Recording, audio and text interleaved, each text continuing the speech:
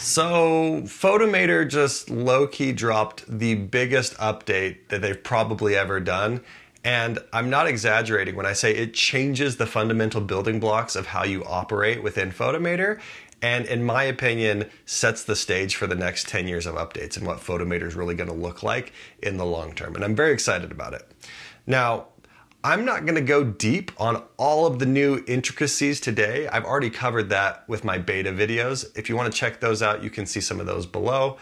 And if you'd like more of a deeper dive on any particular feature, let me know in the comments below. You know I'm always happy to make those videos for you. But today I wanted to show you two interesting workflows that you probably haven't thought of and ways that you can really enable Photomator to bring to life libraries of photos that you probably weren't going to get great use out of. And in my case, this is the library full of all of our old family photos and videos for my parents, grandparents, and great grandparents. So let's jump in.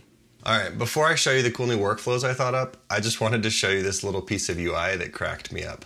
So you can come up here and say what's new in Photomator, and it tells you whatever the cool new feature is in this version of Photomator. And I just died because it says file browser in this nondescript way as if this isn't the most paradigm shifting thing they could have added to the product. It's just the understatement of the year, in my opinion. Anyway, I thought it was funny. Maybe you don't. Um, let's jump in and let me show you what's new in Photomator. So you'll notice that I could still use my Apple Photos library, but now that they are separate from each other, I can switch and I can just browse files on my Mac. And that takes me to the first use case that you might not have thought of. So this folder right here, if I right click it, you can see actually lives in Dropbox, which means that when I come in here and I make edits to this photo, anybody in my family that is using Dropbox can see this. Now, what you might not have thought of is that because you can have your files living in any cloud service you want, you can work collaboratively on the edits. So not only am I going to see this when I log in on different computers, I can actually come in and I can make edits and then my sister will see them or my brother will see them and then they can help edit the photo in some way that they find interesting and all of us can be collaborating together in a way that really wasn't possible before. Now, if you're curious about what this editing workflow looks like, you can go check out my other video that I just released. I'll link it down in the description below. But in general, it is unbelievably powerful, just like the normal version of Photomator is. It lets you get all of the same types of editing tools. And I love what you can do with these old photos that I got from my grandparents. You can just do these little tweaks and they look like new. It's pretty amazing. Okay, now the second one that I'm sure you have not thought of is this. So I've got this drive, and yes, I could fill a drive full of professional photos, but this is not that. This drive has a backup of an entire old computer.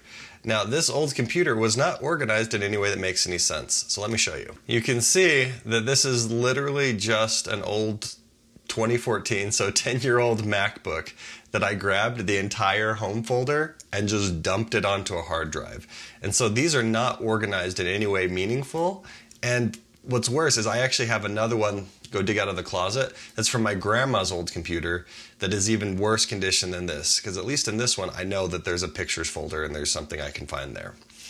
Now, the great thing is Photomator doesn't care. I just pointed Photomator at this hard drive and it takes a second to process because it's literally going through a backup of an entire computer. But what I end up with is, for example, some old iPhone photos. So this is my first time seeing Death Cab for Cutie in concert. And you can definitely tell this was shot on like an iPhone 5 ish. Um, a little blurry, color quality is not amazing.